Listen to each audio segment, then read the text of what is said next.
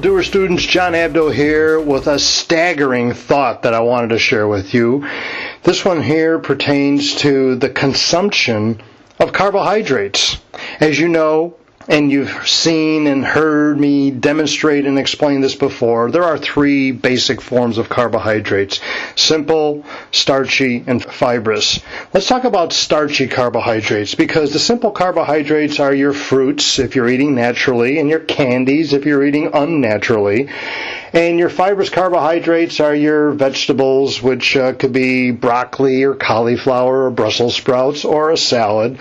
But when it comes to starchy carbohydrates, I believe that those can be very fattening if we overconsume them, especially the processed starchy carbohydrates. But what's so interesting is that we need carbohydrates. Carbohydrate foods supply us with vitamins, minerals, enzymes, antioxidants, small but sometimes significant forms of protein. And if you eat one carbohydrate source, you're going to get one source of protein. But as vegetarians will tell you, if you combine different types of carbohydrate sources, you'll be able to sometimes make up complete proteins inside the body.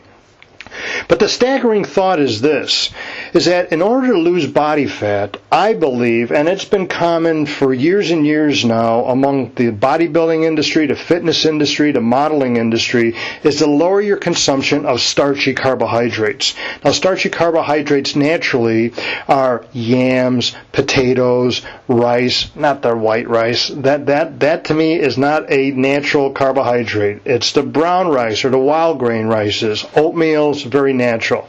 The processed carbohydrates are the white rice, the rice cakes, the, the other types of cereals that man does something to, etc., etc. So you want to distinguish what is natural and what is processed carbohydrates. The processed carbohydrates, if you're really trying to lose body fat and really try to get lean, you got to kick those out. All right. So the carbohydrates need to be eaten because we need the, not only the, nutrition in our body, but we need the energy inside our body, especially if you're doing some type of resistance training. But here's the trick. Listen to this. Take note of this. The trick is not to always eat your starchy or complex carbohydrate at the same amount every day. What I do, I usually pick like a Wednesday and maybe a Saturday or a Sunday so I pick two days a week where I can eat as many starchy carbohydrates, provided they're natural, as much as I can. So if you go throughout the course of the week where you eat your carbohydrates, but you control the portions of your eating, you're going to have a lower caloric content. You're still going to be providing your body with the nutrition and the energy that, that the carbohydrates, hence starchy or complex, provide to your body, but you're not eating them on a high all the time or a high caloric amount. And if you eat them on a high caloric amount, you're just putting too much demand on yourself to have to exercise to burn that off. So, if you have body fat to lose, take the demand off your body's caloric and or energy releasing or burning or fat burning effect by doing the same amount of exercise, but lowering the amount of fuel, hence the carbohydrates, starchy, that you're putting into your body. So now you're becoming more fuel efficient. Now when you spike it, like uh, on my Wednesday and Saturday spikes, or as I call it, stagger, you know, so it's like a stagger line where you see like the heartbeat on, on a monitor. What I'm doing here, I'm eating low carbohydrates on Monday, Tuesday, Wednesday, boom. And it's only for one meal. It's not like all day long. And then Thursday, Thursday and Friday, and maybe Saturday or Sunday, depending. Uh, I, uh, whatever mood I'm in, and, and it also revolves around my training. But then Saturday I'll have another spike meal.